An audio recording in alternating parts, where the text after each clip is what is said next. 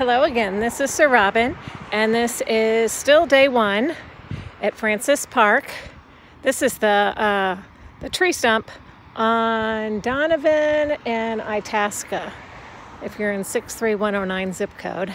I did make it up the hill, as I said before, and everything that I had in my wagon is now on top of the tree stump.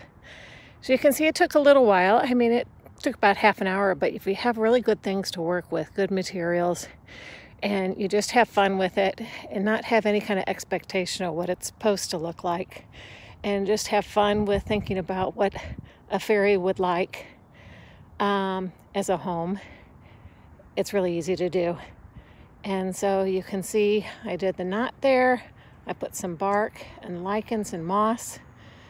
Um, put some pine needles on the top, some dried out ones as well as some green ones, and some logs. And now it looks like it's been there forever. Of course, I put all the spots where I cut the bare uh, tree, and you can see the bare wood where the saw marks. See how that is all kind of fresh, and so is that. I'm going to come back here in a little bit, and it will weather, um, but I might um, put some dirt on that course, my hands are very dirty. I could just wipe that on. But um, this is um, this is how you transform a tree stump into a fairy garden. And uh, I might have one more post today on some little additions. Okay, hope you get out in nature.